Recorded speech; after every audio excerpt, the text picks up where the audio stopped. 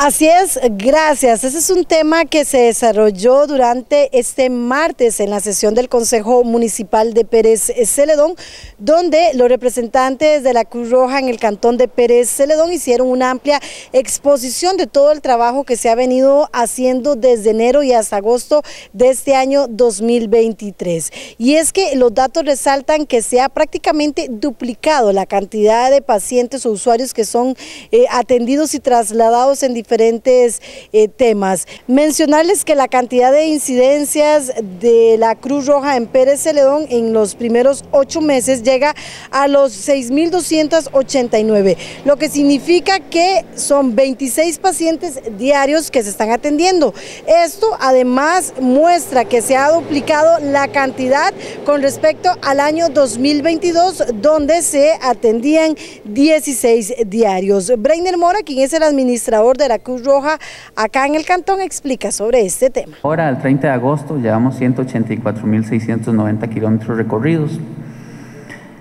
Esto, bueno, una gran parte van a ver que se reduce una venta de servicios al final en la parte eh, financiera, que ya no le vendemos servicios a Links, que era un gran recurso y que recorríamos muchos kilómetros. Mayoritariamente por eso es que se da la reducción de kilometraje. Pero la presencia en el cantón y la cantidad de servicios en realidad se va, tiene una tendencia a la alta, como podemos verlo en este gráfico. Desde el 2014 hasta el 2023 se han atendido más de 60 mil incidentes. Eso en promedio quiere decir que casi uno de cada tres peseteños han requerido un servicio de ambulancia. Para este año llevamos 6.239 incidentes para al 30 de agosto. Y este dato es muy importante porque nos va a permitir apreciar la tendencia de crecimiento de incidentes por día, que para este año o hasta el 30 de agosto va llegando a casi 26 pacientes diarios. Como vemos la tendencia en años anteriores eran 14, 15 incidentes, en medio de la pandemia casi 16 pacientes diarios, pero eh, ha, habido una tendencia mm, a la alza bastante significativa, lo cual ha representado un mayor compromiso y una mayor demanda de los incidentes. Y es que sin duda la Benemérita institución realiza atenciones diversas durante todos los días. Vamos a mostrarles esta imagen precisamente que nos muestra cuáles son las atenciones. En el caso de problemas respiratorios estamos hablando de 421, problemas cardíacos son 516. La mayor cantidad son por casos médicos que suman 2.798, por accidentes de tránsito principalmente 1.698 y otros estamos hablando de 856. En esta otra imagen vamos a ver la cantidad de datos por distritos específicamente que eh, nos da a conocer la Benemérita Institución. San Isidro el General con 2.337, el Distrito del General fueron 313, Daniel Flores 1.459, en Rivas 283, en San Pedro 364. Para Platanares se atendieron 274 incidentes, Pejivalle 200 210, Cajón 494, Barú 134, en Río Nuevo son 86, Páramo 186 y La Amistad son 88. Un tema que preocupa es la capacidad instalada para atender todos los incidentes, sobre todo de los lugares más alejados. Que obviamente la mayor cantidad de incidentes están en los mayores focos de población, pero también hay una gran cantidad de incidentes y de llamadas de los otros distritos que a veces no podemos darle cobertura. Eh, es para nosotros bastante preocupante el tema de la cobertura y la capacidad que tenemos instalada, porque ya vieron la tendencia a la, alta, a la alza en cantidad de pacientes diarios, pero en la, en la práctica esos son pacientes atendidos. Hay una gran cantidad de llamadas que no podemos eh, darle atención inmediata y que eh, deben esperar a veces horas o inclusive recurrir a otros medios o trasladarse por, su, por cuenta propia. La Cruz Roja obviamente en su afán de ayudar a todas las personas, hacemos el máximo esfuerzo, pero estamos trabajando al máximo de nuestra capacidad instalada. Otros datos que también dieron a conocer los representantes de la Benemérita institución es que los días lunes, viernes, sábado y domingo son los que se registra la mayor cantidad de llamadas y por ende la mayor cantidad de atenciones por incidentes. Para ello hicieron una muestra con 7.121 incidentes, de los cuales los lunes atendieron 1.024, 934 los martes, 991 el miércoles, 991 los jueves, 1.023 los viernes y 1079, tanto los sábados como también los domingos. Por la cantidad de, tomamos una muestra de 7.121 llamadas y esta es la forma en que se distribuyen por día de la semana. Entonces podemos ver que la mayor cantidad de incidentes son viernes, sábado, domingos y lunes y con una leve tendencia los martes a la baja.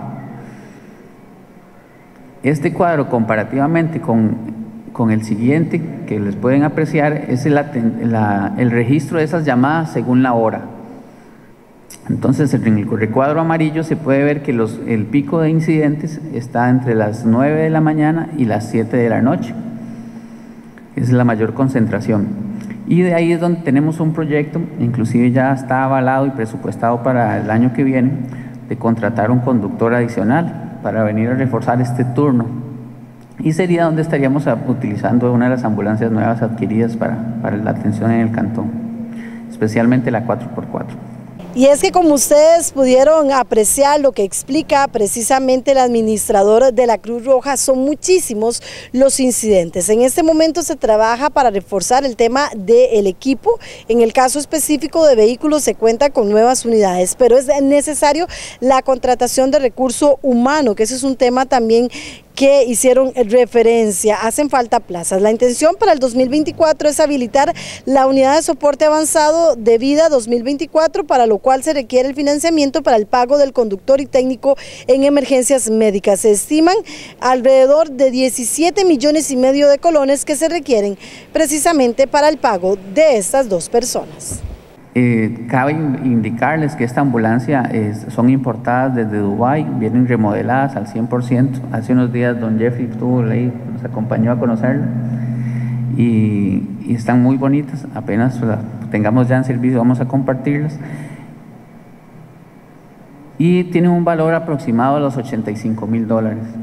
Entonces ya esa se pagó una con fondos públicos y la otra que viene se va se financió un porcentaje con con fondos propios, o sea, lo que hemos generado acá en el cantón, y un, un 40% con fondos públicos. Entonces es importante, ahora cuando veamos el, estado financiero, así es como estamos invirtiendo los, los excedentes que nos están permitiendo esta operación.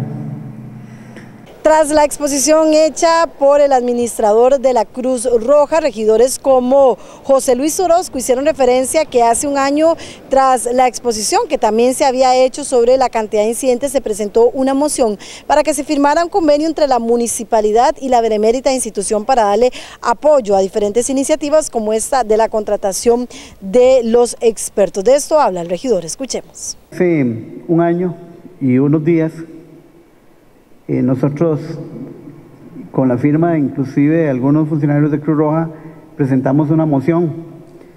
La moción, en términos generales, planteaba dos aspectos, autorizar al señor alcalde para que iniciara una negociación de, la negociación de un convenio de cooperación económica con la Cruz Roja, con el Comité Auxiliar de acá de Pérez Celedón. Y el segundo, destinar recursos económicos del presupuesto ordinario 2023 para la puesta en ejecución de un convenio entre la Municipalidad y la Cruz Roja. Recuerdo que los compañeros, eh, cinco regidores de la unidad lo votaron en contra y algunos que, algunos que inclusive van a o pretenden seguir acá como regidores y algunos otros que no lo apoyaron y aún están acá como regidores o síndicos y candidatos para las elecciones 2024. Durante la sesión municipal, también en la benemérita institución se habló del estado financiero, igualmente de, todos los programas que se trabajan con los voluntarios en temas de ambiente y demás dirigidos a la comunidad, como parte de esa rendición de cuentas que pues normalmente se brinda en la Cruz Roja de Pérez Celedón. En cámaras, Alan Cascante, les habla Carmen Picado Navarro en TV Sur Noticias.